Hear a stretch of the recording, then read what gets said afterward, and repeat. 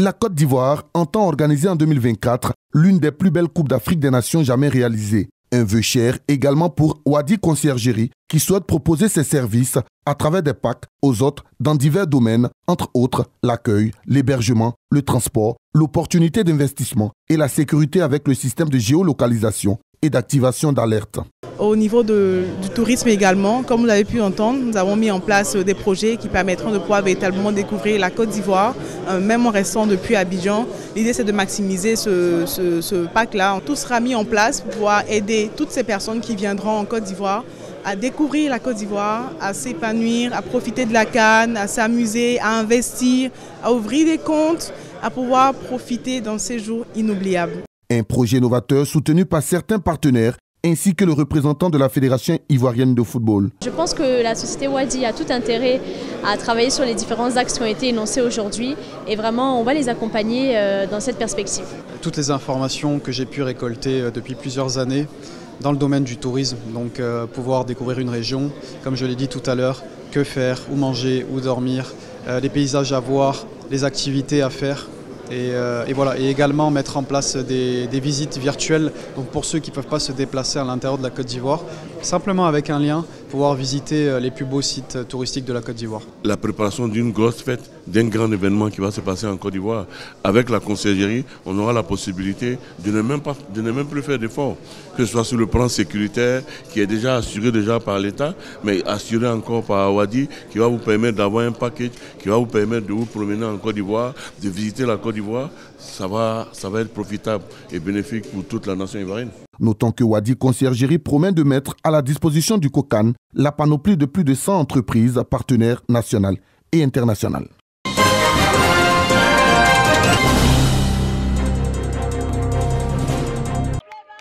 Renforcer l'autonomisation et l'inclusion sociale des femmes dans le département de Djokwe. Cet engagement est matérialisé par la remise de dons d'une valeur de 22 millions de francs CFA, composés de bâches, de chaises, de broyeuses, de bouteilles de gaz et d'ustensiles de cuisine pour des activités génératrices de revenus.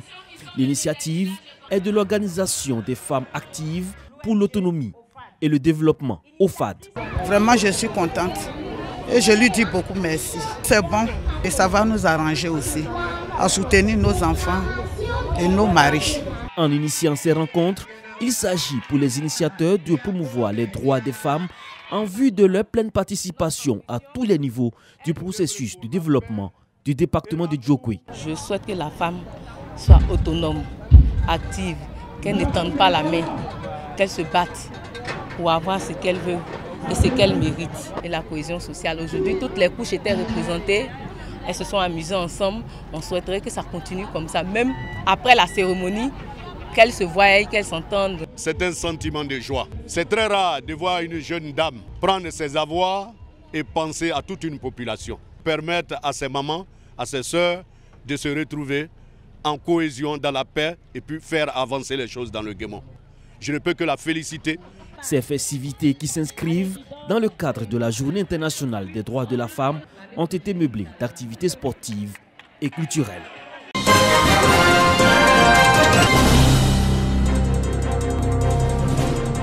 L'électricité attendue à Nyokoso depuis plusieurs décennies est en fait une réalité. J'ai commencé euh, ma classe de CP1 ici à Nyokoso.